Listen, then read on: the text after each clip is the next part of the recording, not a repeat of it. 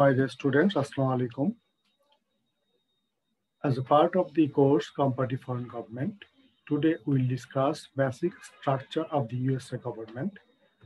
From this topic, we will learn basic structure of USA government, branches of USA government, functions of branches in brief, relations among branches in brief. I, Dr. Mohammed Jaman, delivering the lecture on this topic. USA branches, government branches are three branches. The government is consists of three branches, legislative, executive, and judicial. Constitution provides a separation of powers. Legislative branch is consist of two houses. It is named Congress. There are two house of houses of Congress, Senate and House of Representatives. Senate is upper house of Congress and House of Representatives is the lower house of the Congress. Executive branch consists with president, vice president, and cabinet members. Judicial branches consist with Supreme Court and other federal courts. For, the, for all that it is and does, the United States federal government is based on a very simple system. Three functional branches with powers separated and limited by constitutional declared checks and balances. The executive, legislative, and judicial branches represents the constitutional framework envisioned by the founding father US nation's government.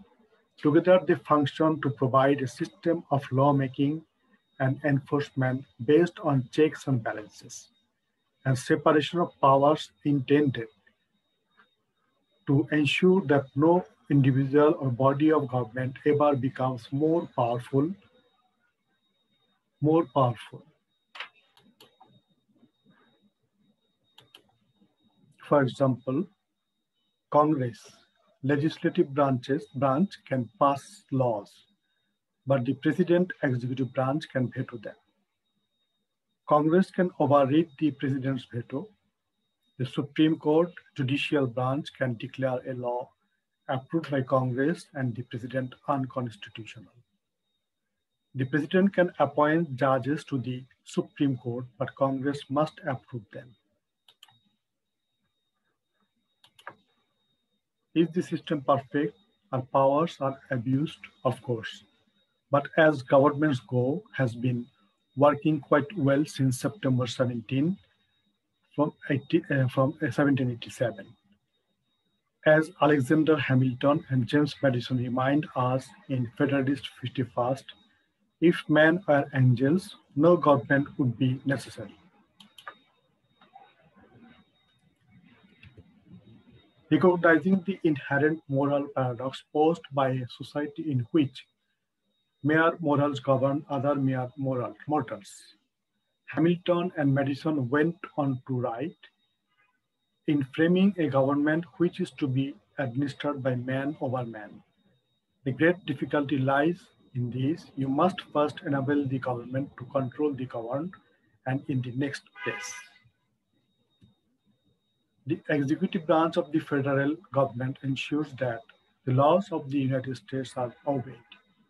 In carrying out this duty, the President of the United States is assisted by the Vice President, department heads, called cabinet secretaries, and the heads of the several independent agencies. The executive branch consists of the President, the Vice President, and the 15 cabinet level executive departments. The executive branch carries out and enforces laws it includes the president, vice president, the cabinet executive departments, independent agencies, and other boards, commissions, and committees. American citizens have the right to vote for the president and vice president through free confidential ballots. The power of the executive branch is vested in the president of the United States, who also act as head of state and commander-in-chief of the armed forces. The President is responsible for implementing and enforcing the laws written by Congress and to that end appoints the heads of the federal agencies, including cabinet. The Vice President is also part of the executive branch, ready to assume the presidency should the need arise. The cabinet and independent federal agencies are responsible for the day-to-day enforcement and administration of federal laws. These departments and agencies have missions and responsibilities as widely divergent as those of the Department of Defense and the Environmental Protection Agency, the Social Security Administration, and the Securities and Exchange Commission. Including members of the armed forces, the executive branch employs more than 4 million Americans. key roles of the executive branch includes the president is both the head of state and head of government of the United States of America and commander-in-chief of the armed forces. Under Article 2 of the Constitution, the president is responsible for execution and enforcement of the laws created by Congress. 15 executive departments, each led by an appointed member of the president's cabinet, carry out the day-to-day -day administration of the federal government. They're joined in this by other executive agencies such as the CIA and Environmental Protection Agency, the heads of which are not part of the cabinet, but who are under the full authority of the president. Infographic poster, how to become president of the United States. Hmm. Let us discuss the infographic poster. The Constitution lists only three qualifications for the presidency. The president must be 35 years of age, be a natural born citizen, American citizen, and must have lived in the United States for at least 14 years. The first steps of election of president, president presidential election process, primary and caucus. There are many people who want to be president. Each of these people have their own ideas about how our government should work. People with similar ideas belong to the same political party. This is where primaries and caucus some came come in. Candidates from each political party campaign throughout the country to win the favor of their party members. caucus, in a caucus, party members select the best candidate through a series of discussion and votes. Primary. In a primary, party members vote for the best candidate that will represent them in general election, in the general election. Step two, national conventions. Each party holds a national convention to finalize the selection of one president nominee. At each convention, the presidential candidate chooses a running mate, vice president candidate. Step three, general election.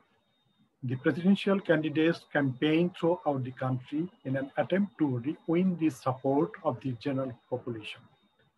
People in every state across the country vote for one president and one vice president when people cast their vote, they are actually voting for a group of people known as electors.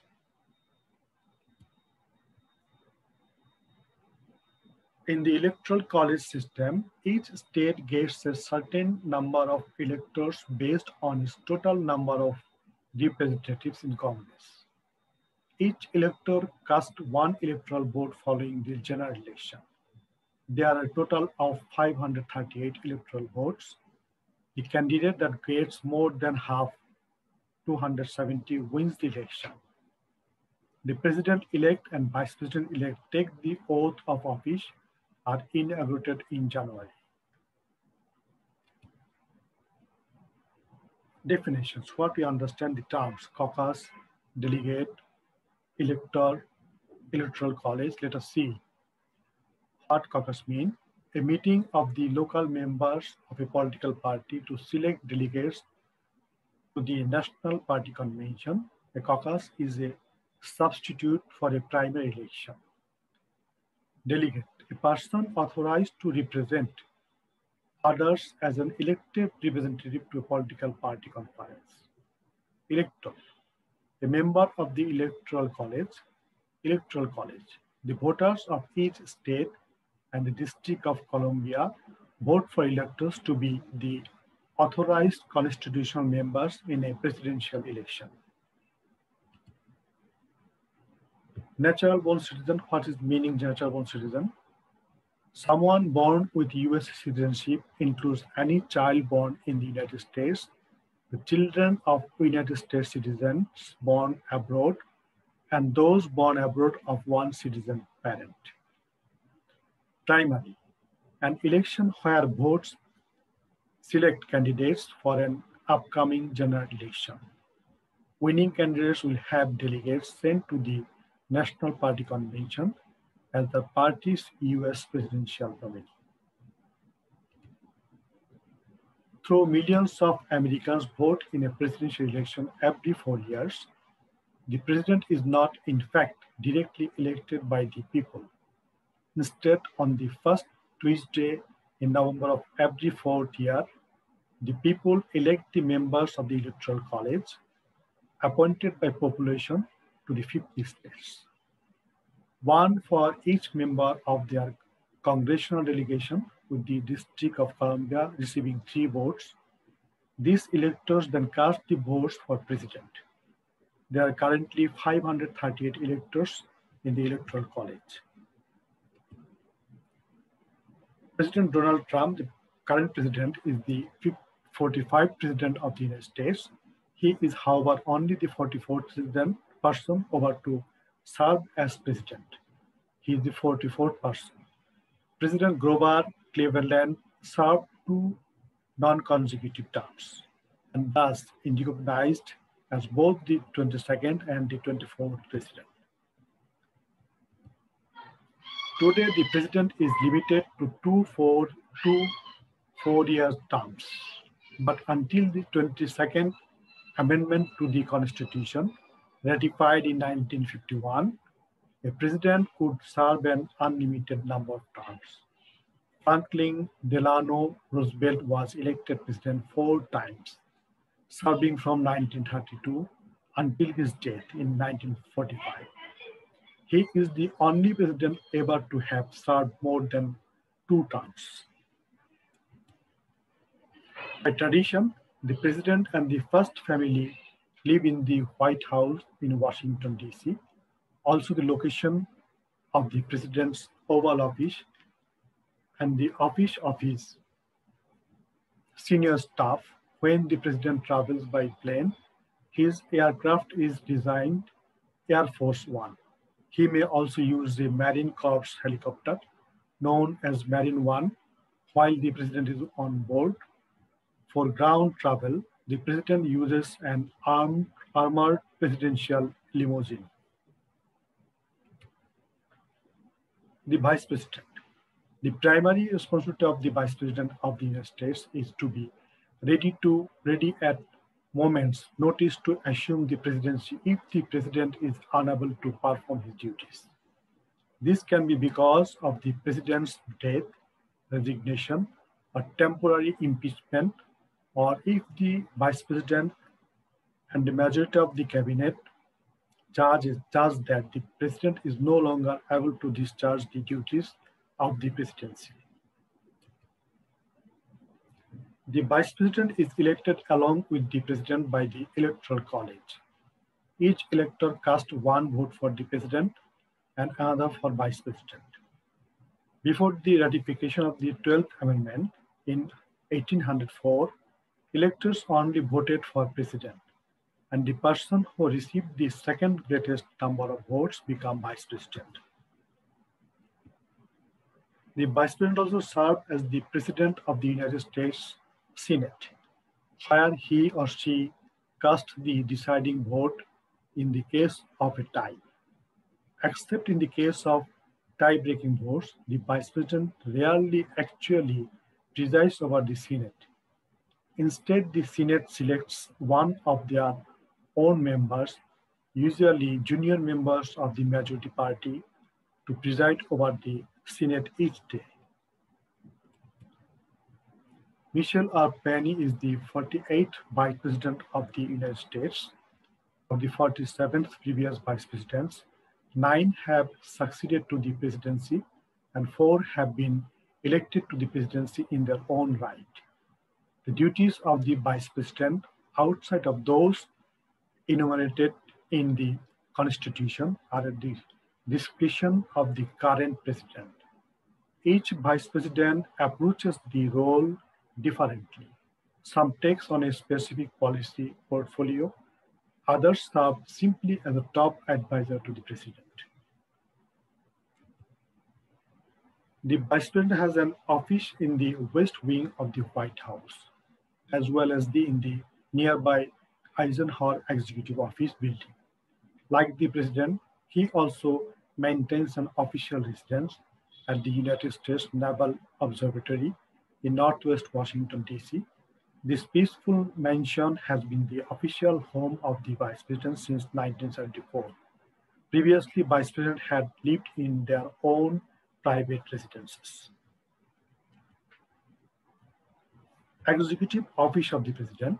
Every day, the President of the United States is faced with scores of decisions, each with important consequences for America's future the provide the president to provide the president with the support that he or she needs to govern effectively. The executive of the president was created in 1939 by President Franklin D. Roosevelt. The executive office of the president has responsibility for tasks ranging from communicating the president's message to the American people to promoting American state interest abroad. The executive office, overseen by the White House Chief of Staff, has traditionally been home to many of the president's closest advisors. While Senate confirmation is required for some advisors, such as the Director of the Office of the Management and Budget, most are appointed with full presidential discretion. The individual offices that these advisors oversee have grown in size and number since the executive office of the president was created. Some are formed by Congress, others the president has needed them. They are constantly shifting as each president identifies his needs and priorities. With the current executive office of president employing over 1,800 people.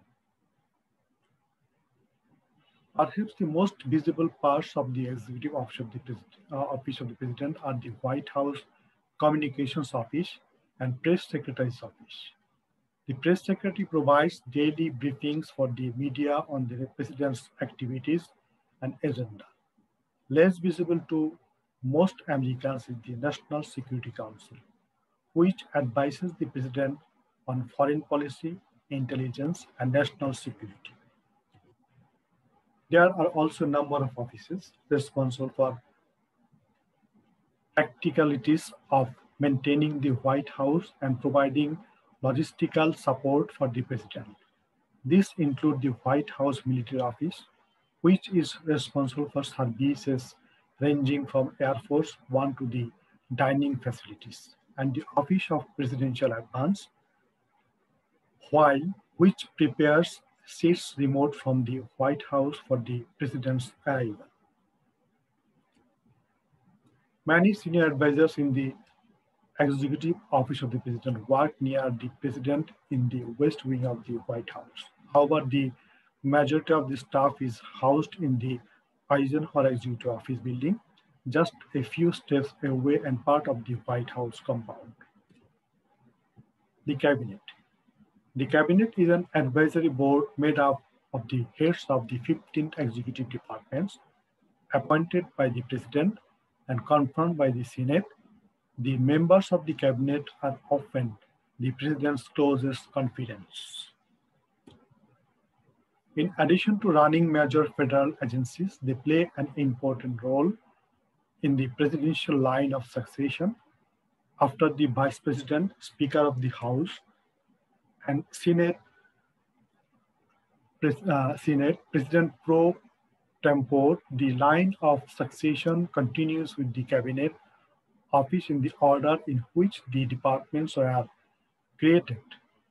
All the members of the cabinet take the title secretary, excepting the head of the Justice Department, who is styled Attorney General.